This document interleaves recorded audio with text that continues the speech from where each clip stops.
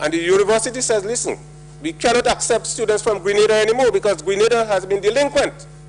The question is, who has to shoulder the cost? So don't come and tell me, listen, you have been successful in granting scholarships, but you have not been successful in meeting those obligations. Council of Legal Education, because they, they expanded the um, economic cost to legal to the legal fraternity as well. $2.1 million. Midwestern State University, $1.6 million, Mr. Speaker. Shortwood College in Jamaica, yeah, where the teachers went for the early childhood training. They cannot get their certificates.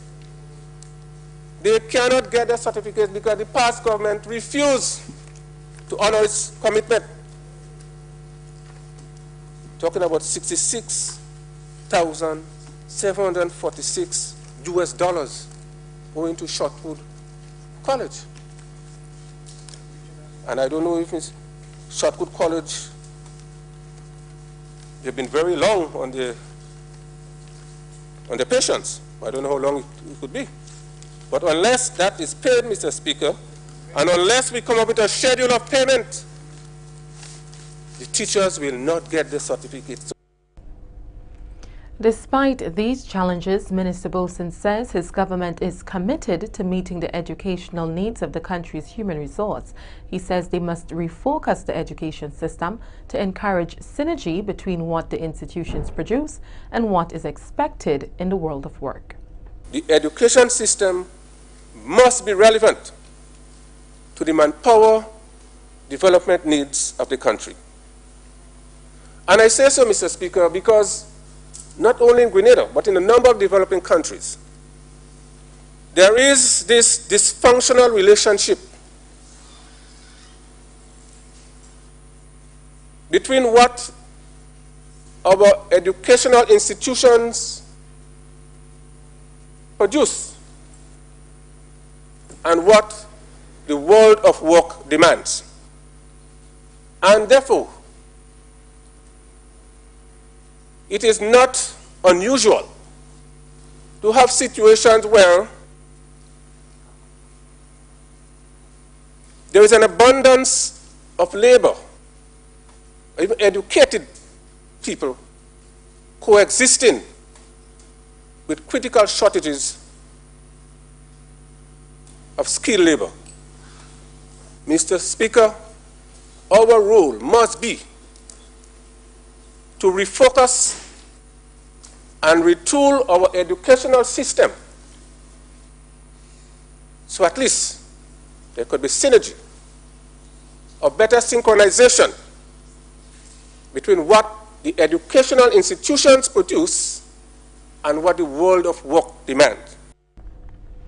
The Ministry of Education has been allocated $110.6 million or 10% of the overall budget.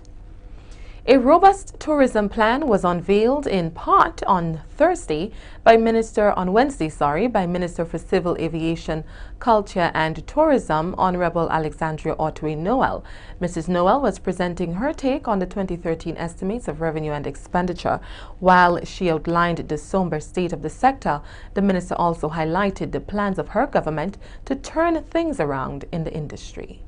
The tourism sector has and continues to be affected by high energy prices, high operating costs, and high airfare prices. The Grenada Hotel and Tourism Association reports that occupancy rates in hotels in Grenada is 16% below the regional average.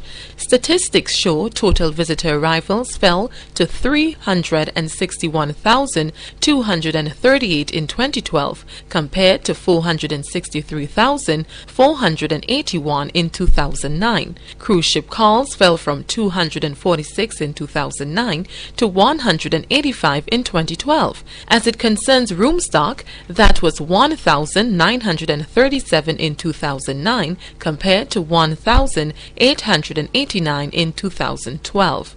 In 2011, the NDC administration, with input from sector representatives, developed a tourism strategy.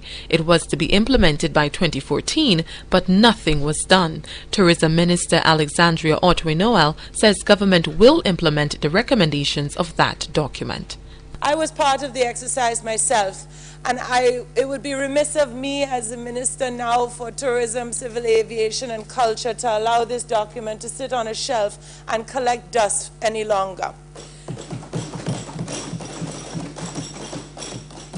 Mr. Speaker, as recently as last week, the Grenada Hotel and Tourism Association released their own economic recovery plan, which is supported by a detailed stakeholder survey.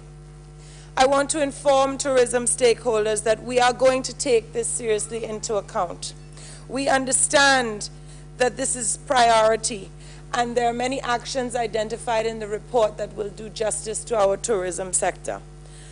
We need to strengthen our destination marketing and our airlift services, Mr. Speaker, and this keeps coming up again and again in all the different reports that are presented to us. Airlift will be heavily emphasized in the creation of the new economy. A budgetary allocation of $12 million went to this cause. Marketing is also a major area of focus, and Mrs. Otway Noel announced that government has secured a private investor to pay for public relations work in Canada, the United States of America, and the United Kingdom. This is an, sorry, Canada, the United States, and the UK. This is an estimated savings to the Board of Tourism, Ministry of Tourism, of 800,000 EC dollars eh, for the two-year contract that we will sign with them. So this is a, an extremely good thing, Mr. Speaker.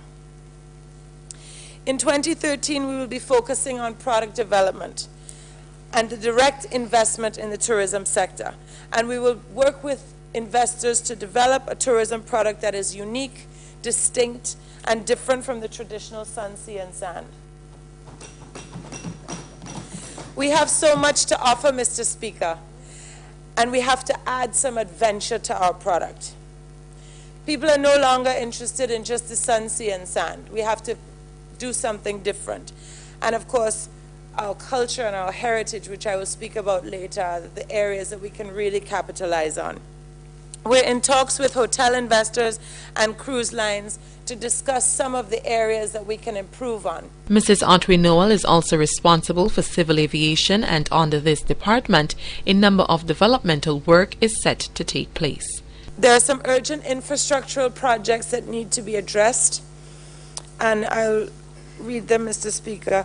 Replacing the consoles and, record and recorders in the air traffic control tower, resurfacing the runway at Lauriston, and also upgrading the terminal building, resurfacing of the runway at Maurice Bishop International Airport. That needs to be done uh, every 15 years or so, Mr. Speaker. And of course, we're purchasing fire trucks for both, both of those airports. And Mr. Speaker, one of the other areas that we're looking at is the construction of FBO, which is a fixed base operation. What that is, Mr. Speaker, it's a private terminal for private planes. And many people who own private planes would not come here unless there is an FBO. It's just about ease of, of service. Sometimes when you get some of these folks, they don't necessarily want to stand in line behind the 300 Virgin Airlines passengers. So it, it opens up new doors to us. And uh, when I was the former chairman of the airport, Mr. Speaker, we had already made the plans, and so it's only now to move forward. Minister for Tourism, Culture and Civil Aviation, Honorable Alexandria Otway Noel. You're watching the GIS News Hour. We'll be right back.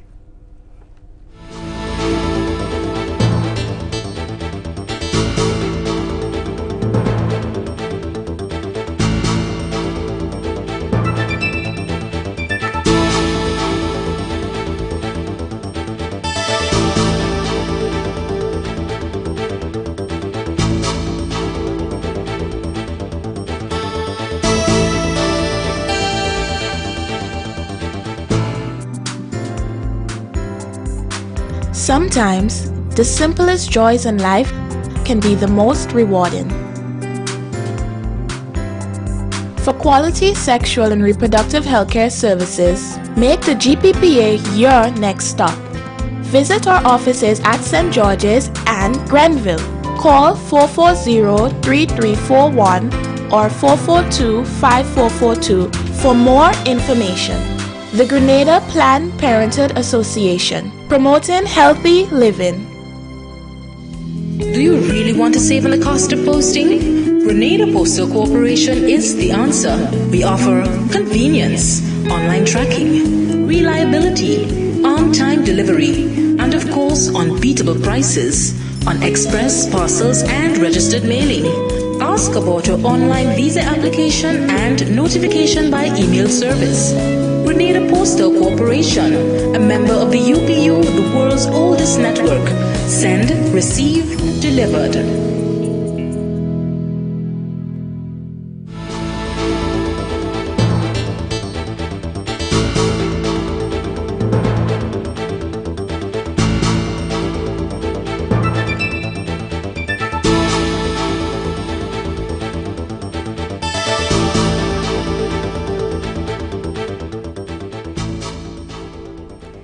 Welcome back to the broadcast.